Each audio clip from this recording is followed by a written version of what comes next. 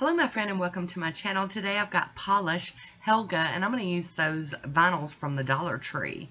I've started off with Miltix Formula 2 and here's the beautiful Helga.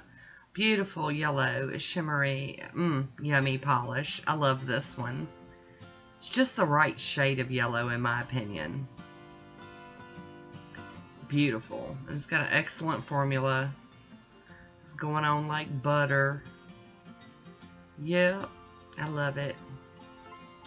So there we go. I'm going to cap my free edge. There we go. And now we're going to go in for our second coat.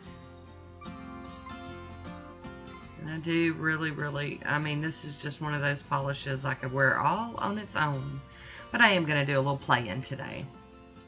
I'm going to top it with the Fast and Hard from Vibrant Vinyls and get it to dry down really good because that's the key with playing with vinyls, especially if you're doing them straight on your nail. Um, you want that polish to be very, very, very dry. And um, I'm get my free edge again. I'm going to show you a couple of ways I use these. I've got these little vinyls and I've pulled a couple of them off and put them on my little mat. I'll be using the Brave Steva on the black stamping polish. Um, you could use regular polish. It doesn't have to be stamping polish. This is just what I had out. And you're going to brush it over the design. Very, very easy. And, um, you know, I, I actually prefer making decals using these vinyls because um, of those wonky C curves on my nails. So I'm going to use some tweezers and quickly get this up before that polish starts drying. Definitely don't want to wait around too long. And now I'm going to use the Super Dry. I get this from the Dollar Tree. And I'm going in real heavy-handed with it. And I'm sorry it's so blurry, but I am just kind of like dabbing it on, not brushing it. Just kind of dabbing it on there. And now here's the other way you can use these vinyls, directly on the nail. So you want to line it up and you want to want to smush it down really good and get, you know, make sure that it's stuck all the way down everywhere. Um, this is not my preferred way to use vinyls. And I'm going to trim some of the vinyl off so that it like will lay down better and stick. I really do like these though. I had a really good time playing with them. There we go. We're going to snip some more off of there. There we go. Get rid of that junk.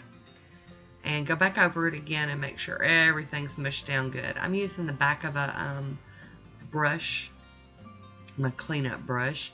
It's kind of got a rounded end. I'm just kind of going over it real quick. I'm going to use that on the black again from Brave Steva and I'm just going to brush over the top of this. Being sure to get down into all those little nooks and crannies. There's a nook and cranny right there. And just brushing that smooth. Trying to make sure I got it all covered.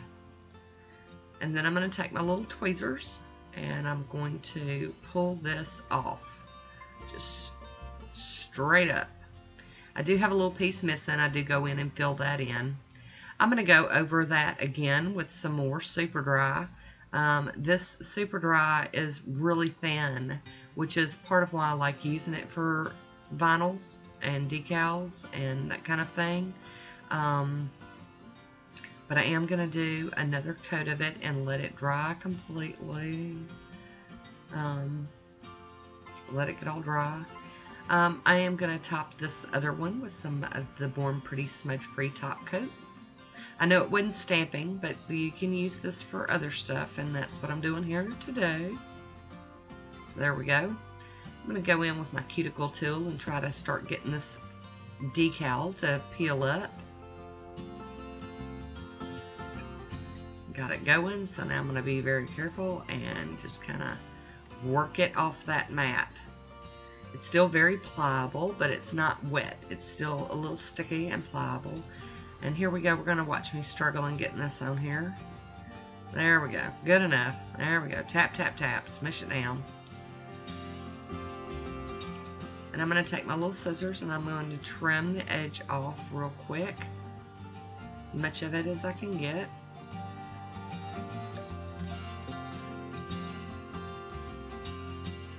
And there we go with that little cuticle tool. I'm going to kind of cut away some of this excess back here on the back. Like I said, this one's still a little sticky. I mean, it's not mushy real bad, but it's, it's still very tacky and it's sticking to everything. And now I'm going to go in with my cleanup brush and some acetone and do some serious cleaning up here. Because of course that black polish is all up by my cuticle. I'm going to clean it up the best I can and then I'm going to have to just uh, wait for some hand washing to happen to get some more of it to come off. But I did really enjoy doing this. It's a it's a simple way to do a manicure, um, and you know it's they're fun. I really did like how sticky they were though. They did stick really well. Um, I was surprised, you know, coming from the Dollar Tree. I wasn't expecting just a whole lot, but um, I really did like it. Really did like doing them. And there are enough on a sheet in a package to do all 10 nails. I just chose today to do some accent nails. Still wanted to have some of that Helga just to enjoy all on its own. So I'm going to top it with some Born Pretty Smudge Free Top Coat, just like I did that other one.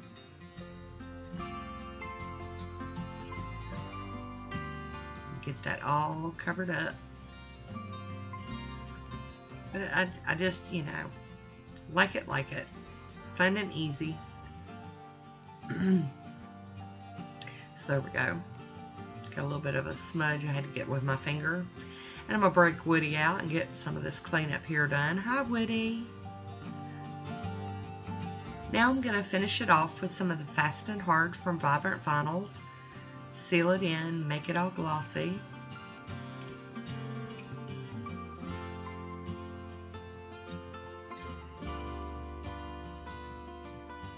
There we go. Gloss it up. Make it shiny just the way we like it.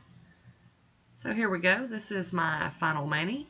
I hope you enjoyed this one. Leave me a comment down below and let me know what you think. I want to thank you for watching, and until next time, be good to yourself.